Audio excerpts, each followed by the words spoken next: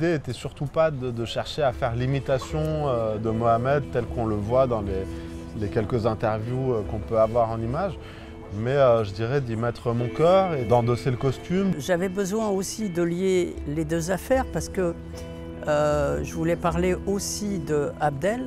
Et en plus, derrière l'histoire de Malik Ousekine, il y a la question des violences policières et des questions extrêmement actuelles, extrêmement contemporaines.